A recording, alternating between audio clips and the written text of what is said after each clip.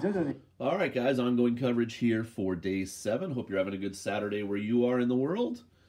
And uh, I did a, I think it was in my old channel, right at the end of the old channel in uh, 2022. Um, I did kind of a survey of where people are in the world, and I was surprised just how many different countries you guys live in. And I tried to get at least one viewer from all 50 states, and I think I got into the 40s. There was a few states that had no sumo viewers, at least of my channel. Uh, but uh, yeah, it was it was fun. Um, people just uh, left comments, and I think I did like a Google Google sheet, and people told me where they lived, and lots of European people, but lots of South American people, um, United States and Canada, of course, Australia, New Zealand, uh, different parts of Asia. A bunch of you live in Japan, which uh, I, I love the fact that you watch my channel if you live here like I do.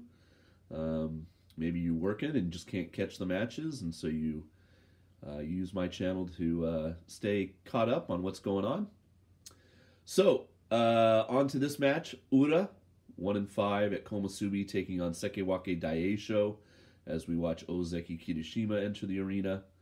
Uh, Daieisho 4 and 2, so, uh, you know, wants to, you know, he's one behind that other Sekiwake sitting there ringside, Kotonowaka.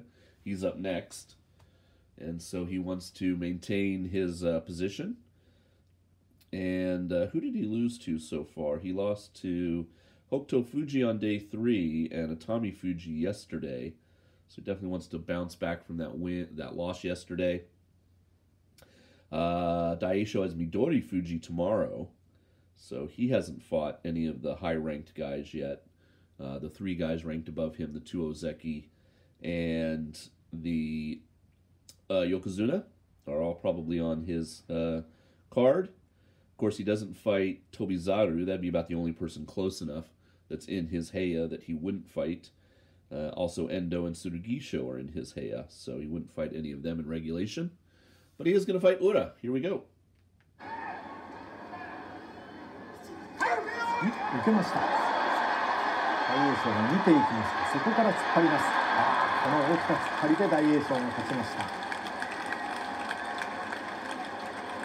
大きな突っ張りがあるんでた手を手繰れないですよねあーそういうことですかね、小さいとね手手繰れるんですよ、あの後ろに引くのが早い。You can just see Kotonowaka's face there, and he's like, "Really, Ura? You're gonna fall on me right before my match?" Um, but uh, yeah, I don't think he did any damage there. I think he he hit the uh, ringside judge there more than he hit Kotonowaka.